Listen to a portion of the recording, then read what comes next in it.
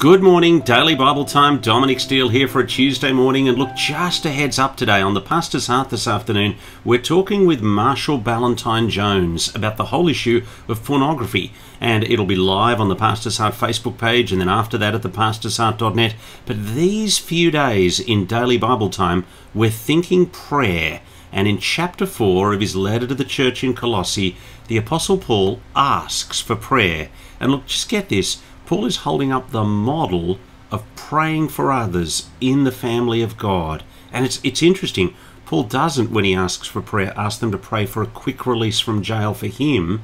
The big thing that the Apostle Paul asks for prayer for, he says, Colossians 4, sentence 3, pray for us too, that God may open a door for our message, so that we may proclaim the mystery of Christ for which I am in chains Pray that I might proclaim it clearly as I should. As we start to appreciate what it is to have died with Christ, what it is to be risen with Christ, what it is to be hidden with Christ, as we start to appreciate this enormous privilege that God has given us, as we start to appreciate there are people out there friends and family still trapped in darkness, heading to hell outside of Christ, more than anything else, what we want is for those in darkness to come to know Christ and have a living relationship with Him. And so we pray desperately to our Father in heaven that He might fling wide open the doors for the proclamation of the message of the mystery of Christ. And as God opens those doors, God might provide people who can boldly walk through those doors. And that those people who walk through those doors, they may not muck it up but they would speak clearly of Christ. Christ the Saviour, who died for us, Christ the Lord, that we should walk after. Paul asks that we would pray that this proclamation be clear, but it's just fascinating the way he puts it in Colossians 4 4. He says, Pray that I may proclaim it clearly as I should.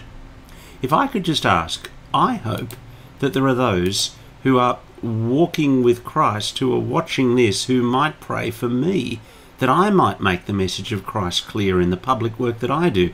I get lots of platform opportunities, and I mean, if you do hear that I'm speaking somewhere, please pray for me.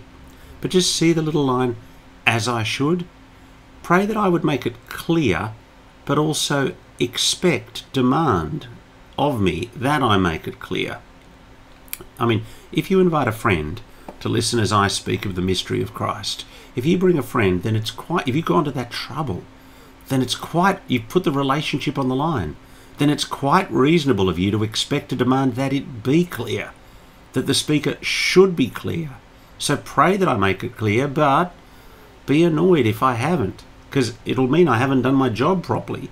Anyone who has the privilege of doing platform work for Christ is expected to make the mystery of Christ clear and look, there are people out there who are occupying pulpits, platforms, who either can't or won't make it clear.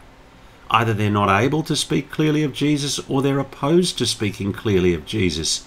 And actually, if they can't or won't, the word of God from this verse is actually get out of the way. Leave the platform open for somebody else who's able or willing to make it clear. For God is absolutely clear. There are people outside of Christ who need clarity to be led to light. Thanks so much for joining us for Daily Bible Time today. We'll look forward to seeing you tomorrow. And I do hope, pray that you can join us for church on Sunday and bring someone. 9.30 in the morning or 6 p.m. either in person or online at Village Church Annandale.